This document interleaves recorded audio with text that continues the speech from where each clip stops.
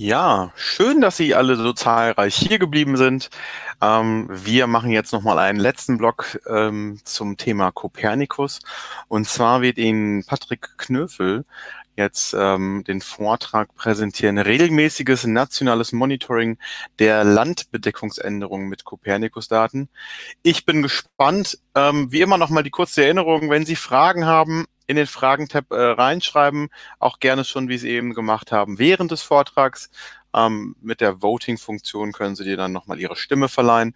Wenn vielleicht jemand anderes genau dieselbe Frage hatte und ähm, je mehr Stimmen in Anführungsstrichen, desto wahrscheinlicher, desto wahrscheinlicher ist es, dass wir es am Ende noch dran nehmen können. Und von daher wünsche ich Ihnen jetzt viel Spaß ähm, mit dem nächsten Vortrag und ähm, los geht's. Hallo und herzlich willkommen. Schön, dass Sie sich interessieren für meinen heutigen Vortrag. Es geht um regelmäßiges nationales Monitoring der Landbedeckungsänderung mit Kopernikus-Daten. Mein Name ist Patrick Knöfel. Ich bin am Bundesamt für Kartografie und Geodäsie in der Abteilung Geodaten tätig, dort im Referat Weiterentwicklung, Geoinformation und Fernerkundung. Ich habe mich die letzten vier Jahre mit dem Projekt befasst, was ich Ihnen heute vorstellen werde. Ähm, beginnen möchte ich mit Hintergrund und Motivation. Warum ähm, haben wir eine operationale Anwendung in der Cloud umgesetzt? Äh, in der Cloud bezieht sich in dem Fall auf code.de, wo ich später nochmal drauf eingehe. Genau, wir haben begonnen mit dem Forschungs- und Entwicklungsprojekt am BKG 2017. Das Projekt nannte sich Landschaftsveränderungsdienst, äh, abgekürzt LAVERDI. Ziel war es hier, ein regelmäßiges Monitoring der Landschaftsveränderung mit Copernicus-Daten durchzuführen, um so Veränderungs- oder Aktualisierungshinweise zur Aktualisierung äh, BKG-interner Produkte, wie zum Beispiel das Landbedeckungsmodell, äh, zu liefern und kostenfrei für jedermann bereitzustellen. Ausgewählt haben wir da die nationale Copernicus-Plattform Code.de, die eben solche Prozessierungsmöglichkeiten auch bietet, wie wir sie benötigt haben. Wir haben das Ganze, also die Entwicklung und Implementierung des äh, Webdienstes als Vergabeleistung ausgeschrieben, betreut und koordiniert durch unser Referat. Auftragnehmer in diesem Fall war die GAF AG aus München mit Unterstützung äh, des Deutschen Zentrums für Luft- und Raumfahrt in der ersten Pilotphase des Projekts. Arbeits- und Forschungsschwerpunkte waren hier die Algorithmusentwicklung und die Entwicklung standardisierter, vollautomatisierter Prozessketten. Übergeben wurde uns der operationelle Webdienst am Ende des Jahres 2020. Der Landschaftsveränderungsdienst, wie ist der aufgebaut? Ich zeige Ihnen jetzt einen kleinen Workflow, einen kurzen Workflow, wie das Projekt umgesetzt wurde. Wir haben hier auch als Motivation hier anfangs genannt das digitale Landbedeckungsmodell lbm.de, welches wir alle drei Jahre am BKG produzieren als Referenzdatensatz. Wir haben hier die nationalen, äh, also oder beziehungsweise die Copernicus-Daten, äh, die auf der nationalen Code.de-Plattform bereitgestellt sind. Diese, wenn sie noch nicht so vorlagen, haben wir vorprozessiert, ähm, haben eine optimierte Wolkenbedeckungsmaske berechnet, NDVI und Time Features berechnet, was Time Features sind. Darauf gehe ich später noch ein. Wir haben dann die Sentinel-Daten und die Referenzdatensätze zusammengebracht für eine Change Detection und auch eine Klassifikation der Landbedeckung haben wir durchgeführt, was letztendlich zu einer automatischen Erkennung von Veränderungsflächen führte. All das, was Sie hier in dem schwarz-weiß äh, gestrichelten Kasten sehen, wurde auf der Qt-Plattform implementiert und abgelegt. Das heißt, die Referenzdaten sowie diese, die Sentinel-Daten, wie die Ergebnisse der Vorprozessierung und äh, Berechnung, als auch die Ergebnisdatensätze und auch der Dienst, über den wir das dann bereitstellen, die Webanwendung ist vollständig auf Qt implementiert. Der Dienst, der, den Sie dort erreichen, den stelle ich Ihnen später vor. Das ist der Landschaftsveränderungsdienst Laverdi. Wir haben bei Code.de ein sehr flexibles Verarbeitungskontingent äh, erhalten. Das Ganze basiert auf dem sogenannten Standardkontingent. Wir haben es ein bisschen hier und da ausgeweitet. Insgesamt sind fünf virtuelle Maschinen mit 22 CPUs im Einsatz. 1,7 Terabyte Datenspeicher ist derzeit in Benutzung, wächst aber stetig an. Wir haben ein CentOS Linux Betriebssystem, diverse Infrastruktur installiert auf den virtuellen Maschinen. Alle Prozesse sind in Python programmiert und durch Docker containerisiert. Ja, die Entwicklung des Dienstes. Wie sind wir vorgegangen? Ich hatte es vorhin angedeutet. Wir haben in einer Pilotphase auf zwei Testgebieten äh, das Ganze untersucht und auch einige Fragestellungen beantwortet, nämlich eine Genauigkeitsanalyse, Aktualisierungshäufigkeit und Mindestkartierfläche untersucht. Die beiden Testgebiete wurden ausgewählt, dass wir ähm, die ganze Heterogenität der deutschen Landbedeckungslandschaft erfassen. Wir haben große landwirtschaftliche Parzellen, äh, flaches Relief und äh, wenig dicht besiedelte Gebiete im Norden, wohingegen wir im Süden die Metropolen Stuttgart, äh, München und Augsburg enthalten haben, als auch ähm, ein, ähm, ja, kleinere landwirtschaftliche Parzellen und ein äh, ähm, verändertes Relief. Der Workflow im Einzelnen ähm, baut auf sogenannten Time Features auf. Was Time Features sind, werde ich später nochmal genau erläutern.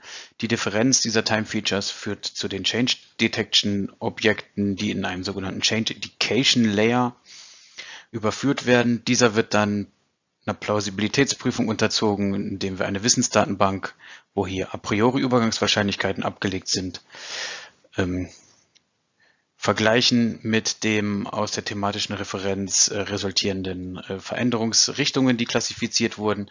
Und nach dieser Plausibilitätsprüfung haben wir dann den sogenannten Change Layer oder den Indexed Result Layer, den wir dann über den Dienst ausweisen. Was sind diese sogenannten Time Features? Time Features sind ähm, in einem Vergleichsfenster aufgenommene, standardisierte, aufbereitete Informationen. Wir haben eine Vielzahl von Vegetationsindizes und Time Features untersucht. Zum Beispiel haben wir den NDWI, den NDVI untersucht und wir haben äh, Minimum, Maximum, NDVI zum Beispiel Mittelwert untersucht. Am Ende übrig geblieben ist das Time Feature oder sind ausschließlich Time Features des NDVI, die für die Ausweisung der Veränderungsflächen relevant waren. Wir haben hier den Mittelwert des NDVI, die 10 und 90 Prozent Perzentile sowie die Differenz aus diesen beiden. Und durch Differenzbildung von zwei aufeinanderfolgenden Jahren, das heißt ein NDVI Time Feature fürs Jahr 2017 vergleichen wir mit einem NDVI Time Feature 2018. Durch Differenzbildung und die Differenzen dann resultieren in einem Change Indication Layer und dieser, wie gesagt, wird regelbasiert dann in ein Result Layer überführt. Nochmal ein kleines Bildbeispiel. Wir haben hier die Zeitreihen. Wir haben hier die Time Features 17, 18, hier der NDVI Mittelwert. Daraus resultiert ein Differenzenbild und aus diesem Differenzenbild ergeben sich dann zu Polygonen geclusterte Pixelgruppen, die wir dann als Veränderungsflächen ausweisen und untersuchen. Wir haben eine Genauigkeitsanalyse durchgeführt für die ähm, sechs Landbedeckungsklassen, die aus dem lbm.de resultieren. Hier sehen Sie das Time Feature, was für die Auswahl oder für die Detektion der Veränderungsflächen relevant war. Und Sie haben hier eine Genauigkeitsanalyse Change, No Change, die Genauigkeit untersucht haben. Und wir sehen hier, dass im Acker- und Grünland, im homogenen Grünlandbereich, die Mindestanforderung auf jeden Fall erfüllt wurde. Wir hatten eine Mindestanforderung an das Produkt von mehr als 80 Prozent Genauigkeit. Äh, in der bebauten Fläche, Wald- oder Wasserflächen ist diese Genauigkeit auf jeden Fall äh, kein Problem gewesen, diese zu erreichen.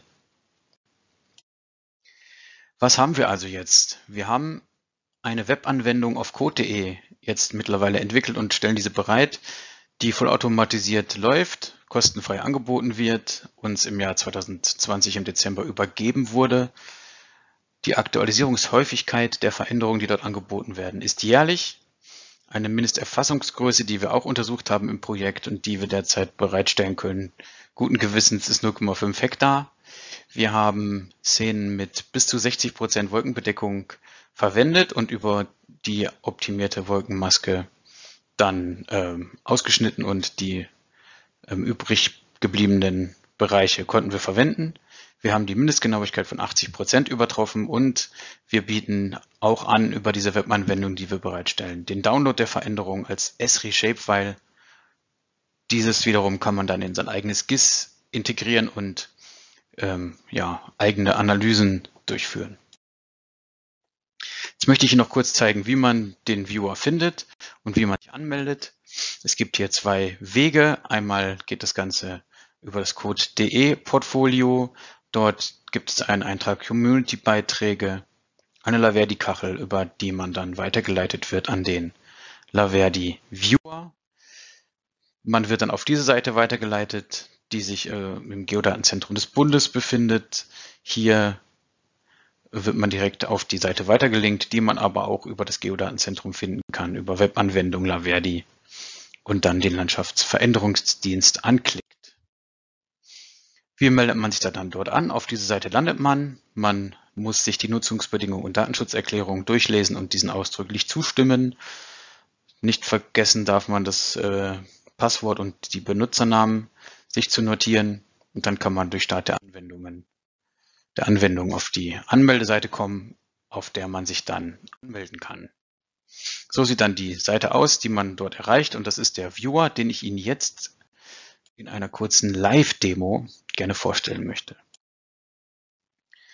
Wir haben hier das ganze Beispiel mal, wie man es findet, auf dem, auf den BKG-Seiten dargestellt. Produkte und Services.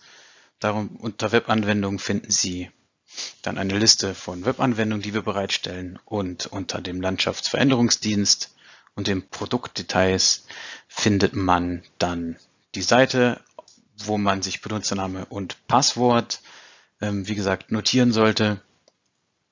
Die Nutzungsbedingungen und die Datenschutzerklärungen sind hier verlinkt und nachdem man diese gelesen und den zugestimmt hat, kann man die Anwendung starten. Man kommt dann zu einer Anmeldemaske. Dort gibt man die Daten ein, die man sich vorher gemerkt hat und kommt dann zum Landschaftsveränderungsdienst. So sieht dann die Seite aus, die Sie erreichen.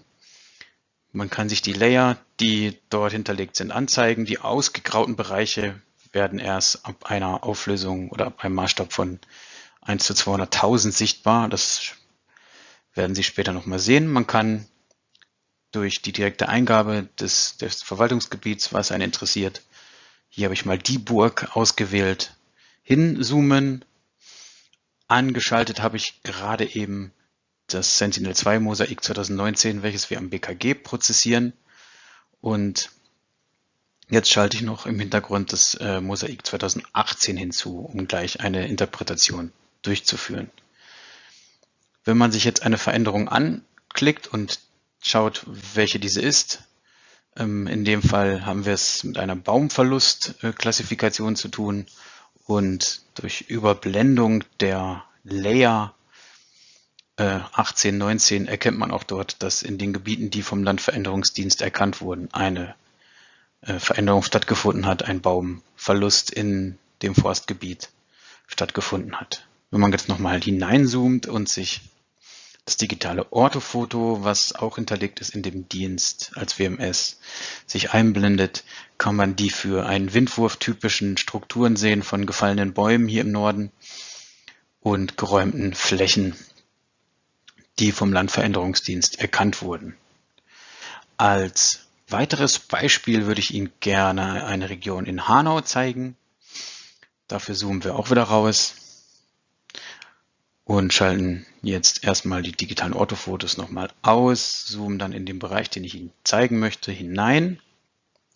Hier sieht man eine Veränderung in einer ja, Siedlungsstruktur und indem man den Layer jetzt, den Veränderungslayer etwas transparenter schaltet und auch wiederum die Transparenz der Layer des Layers 2019 verändert, erhält man ein Eindruck, wie sich die Veränderung entwickelt hat und durch Hinzuschalten der Orthofotos kann man dann wieder eine, sofern das äh, aktuelle Luftbild vorliegt, eine Einschätzung, was dort passiert ist, vornehmen. Hier handelt es sich offensichtlich um Baumaßnahmen in diesem äh, Großbaugebiet. Ein weiteres Feature, was ich Ihnen gerne noch zeigen möchte, ist der Sentinel-2 Level 3 WASP ähm, Datensatz, der hier hinterlegt ist. Wenn man diesen anklickt, öffnet sich unten eine Zeitleiste.